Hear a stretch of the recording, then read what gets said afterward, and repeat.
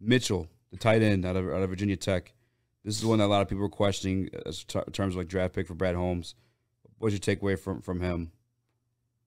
So there was uh, that was the bummer of not having a pick between 97 and 170. It was like I want to say it was 80 picks or so that they didn't have a pick.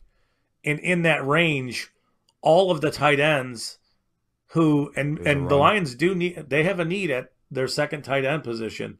They all kind of went. And that's about the range where you know you kind of thought they would all go cuz th- this was a good tight end class. There were some some high upside players. Um, like Trey McBride was is a good player. Uh, Jelani Woods is a, a nice developmental tight end kind of player, but all those guys went. So in the range where you had where you took Kerby Joseph between you know when you took Kerby Joseph and, and where Mitchell went, a slew of tight ends that you wanted went.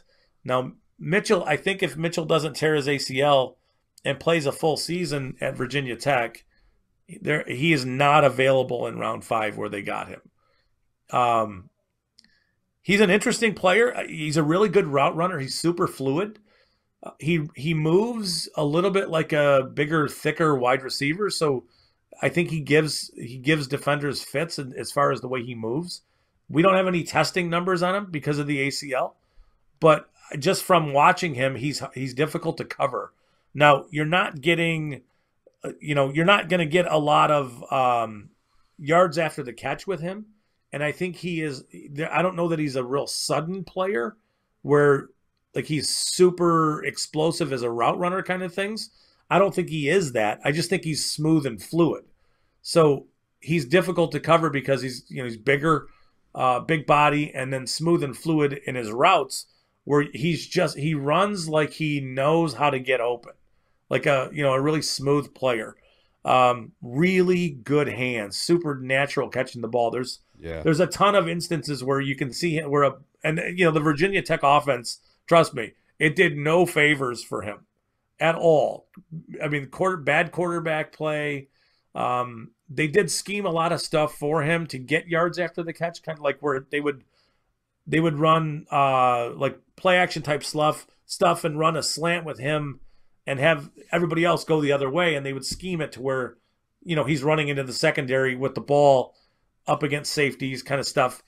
But um, you know, it's you're not going to get a lot of suddenness, a lot of uh, super sharp precision in his routes. It's just he knows how to get open. He knows he knows how you know how to use his body to get open, and he's really good at catching the football. Um, a lot of one-handed type catches where balls thrown behind him and he's able to secure it, kind of things. Uh, he he adjusts his body really well. That's where he looks like a receiver. He's able to do a lot of different things to catch the football. He, and so you can see there's a room, there's a place for him. Um, he's a decent blocker. He's a very willing blocker.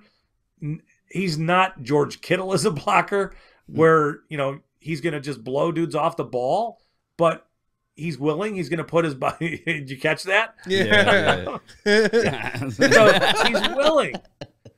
That was for Spencer. He's Yeah, willing. he, he wants to be a good blocker.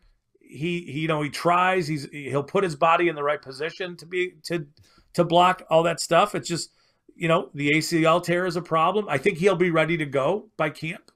Uh, he tore his ACL really early, yeah. and then and you know the issues are is that he's not he's not super explosive where where he's he's going to catch the ball and run away from everybody. It's just he's he he is what he is, and I think he can be a very effective chain moving tight end, and a pretty. I I think he can grow into um, a reliable player who you can throw the ball to and allow him to get open against you know whoever's covering him.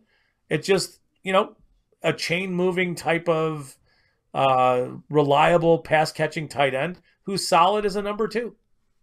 Yeah, so he's he's thick, he's smooth, he's not gonna blow dudes off the ball, but he he's great getting getting his hands on the ball. You know, it sounds sounds good to me. Sounds like the anti Eric Ebron, honestly. That's I, he's great at catching the ball. He's a willing blocker. He's not the most athletic, not sharp routes, but he gets open. He catches the ball, and like we got him late. He's going to be what our third tight end behind obviously Hock and maybe Brock Wright. Maybe he beats out Brock Wright for that second spot. But I think I have more of a role in the offense. I think like uh I think red zone targets because I watched him like those 50-50 balls. He he, he yeah. snatches them. He I mean these are the times I, am I was just watching highlights and watching game tape, but like snatching the ball out of corner's hands. You know what I'm saying? And it'd be yeah, two I mean, you can see how natural he is at catching the ball. He's really, I mean, he's he's very good at it, yeah. and it's just natural for him.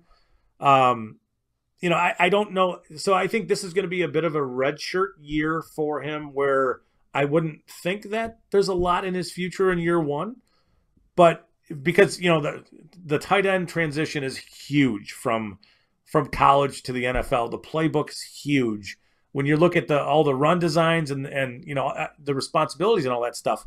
So I wouldn't expect a bunch, but I think I think you know in 2023 he is probably your number two pass catching tight end with some upside as a player, but you know he's not going to be, um, you know he's not going to be a 50 catch.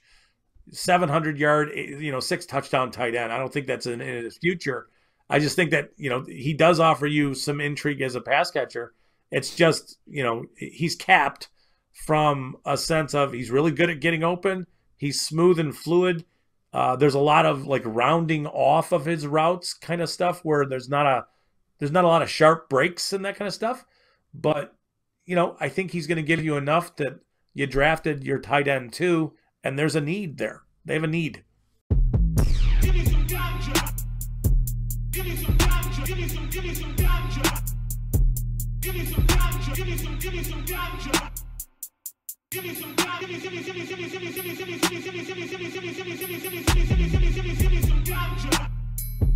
Give me some ganja. Give me